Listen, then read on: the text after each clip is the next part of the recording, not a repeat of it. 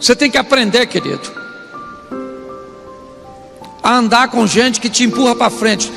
Sim, querido, porque pessoas vão te levar a fazer coisas erradas e quando der ruim, elas vão embora e vão deixar você sozinho. Tá assim de gente que não vive milagres. E quem não vive milagres não gosta de ver você vivendo. Tu tem que andar com quem joga combustível nos seus sonhos e não água.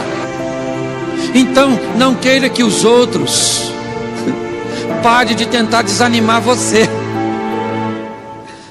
Porque eles só estão fazendo o papel deles.